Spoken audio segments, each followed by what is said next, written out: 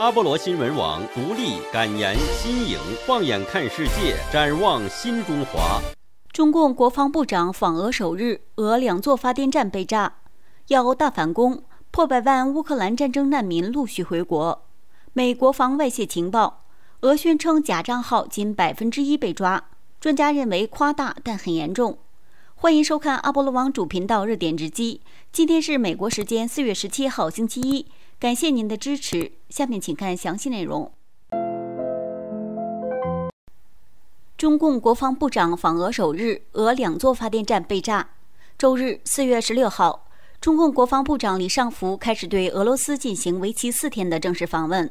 俄罗斯总统普京对中俄之间不断深化的军事合作表示热烈欢迎，但靠近乌克兰边境的别尔哥罗德州人没有那么兴奋。当晚，两座发电站遭袭击，造成数千人断电。别尔哥罗德州州长十六号晚在 Telegram 帖子中确认了这次袭击。在别尔哥罗德市和别尔哥罗德地区，民用设施发生了两起火灾。他说，并补充说，没有任何人员伤亡。据巴扎媒体报道，被摧毁的发电站位于伊古门卡和德拉贡斯科这两个村庄，距离别尔哥罗德市仅几英里。此次袭击导致别尔哥罗德地区数千人断电。别尔哥罗德地区面临着来自乌克兰的断断续续的无人机和导弹袭击，尽管其规模远远小于俄罗斯对乌克兰数十个城市的定期轰炸。此次疑似袭击正值乌克兰准备进行反击之时。乌克兰情报局长布达诺夫少将在最近的一次采访中表示，俄罗斯西部出现了许多不寻常的爆炸和火灾。这其中大部分不是偶然的。俄罗斯火灾不断，他承认，乌克兰正在付钱给俄罗斯破坏者，让他们破坏或摧毁关键的基础设施和物流设备，以减缓莫斯科进入乌克兰东部的供应。乌克兰在冬季一直在为春季反攻做准备，但反攻的确切时间和地点尚未公布。而俄罗斯也在积极寻求支持。俄中高级官员之间的会晤引发进一步的猜测。即随着乌克兰战争的继续和与西方的关系恶化，两国正在寻求更深层次的军事合作。李尚福十六号会见普京时说：“中俄关系比冷战时期还要好，且双方关系已经迈入新时代。”李尚福还将和俄罗斯国防部长绍伊古讨论防务领域的合作以及全球和地区安全问题。绍伊古十七号还向普京报告了太平洋舰队的演习情况。在国家电视台播放的镜头中，绍伊古称，演习的目的是提高武装部队在海上击退潜在敌人的能力。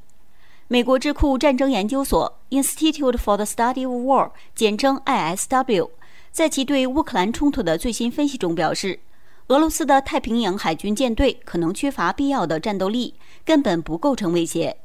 ISW 说，克里姆林宫很可能打算利用太平洋舰队的战备检查。试图在五月七国集团举行峰会之前阻止日本对乌克兰的进一步支持。ISW 评估说，目前俄罗斯军方不具备威胁日本的条件。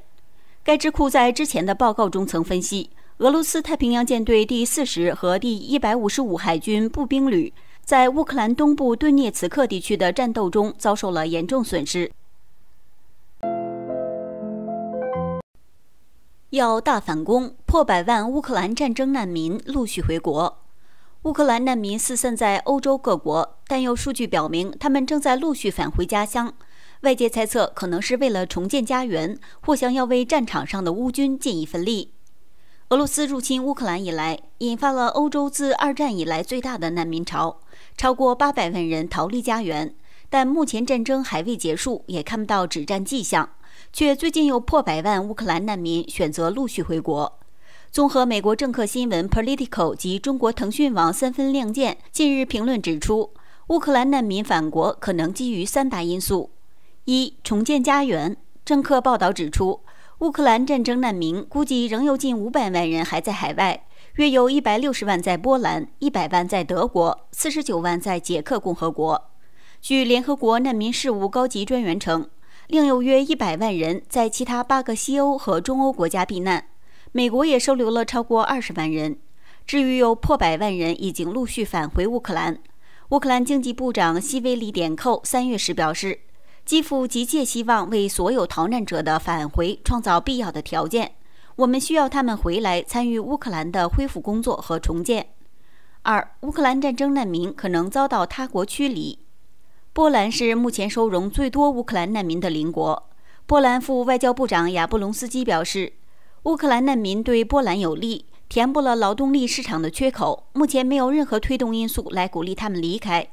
根据临时保护命令 （TDP） 注册的四百万人口中，几乎所有乌克兰难民都是妇女和儿童。因为十八至六十岁的乌克兰男性被禁止离开该国，以防征兵需要他们。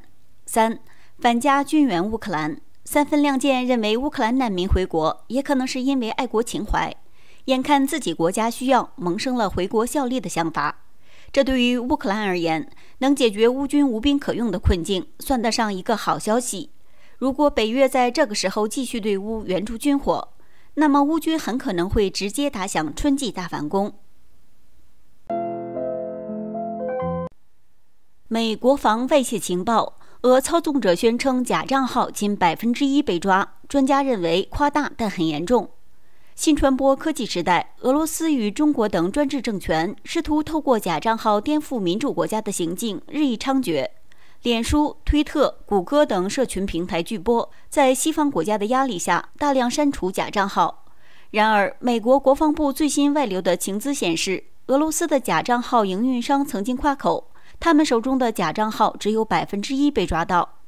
美国约翰霍普金斯大学高级国际研究学教授李德认为，这个说法是夸大了。他指出，谷歌和 Meta 以及其他公司正试图阻止这一切，而俄罗斯正在努力变得更好。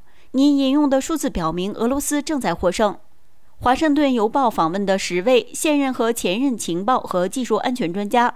也大多认为这份文件的说法可能夸大了俄罗斯假账号的成功率，但他们也警告说，即便俄罗斯的假账号只有百分之九十，而不是百分之九十九逃过检测，这也表明俄罗斯在向不知情的消费者传播其观点方面比二零一六年要熟练得多。当时他将机器人账户与人类宣传者结合起来，并通过骇客攻击试图影响美国总统大选的进程。感谢您的支持、赞助和留言，请您订阅并传播我们的频道。我们也在干净世界开了频道，那边没有黄标和红牌的问题。欢迎您在干净世界订阅我们，链接在视频的描述中。再会。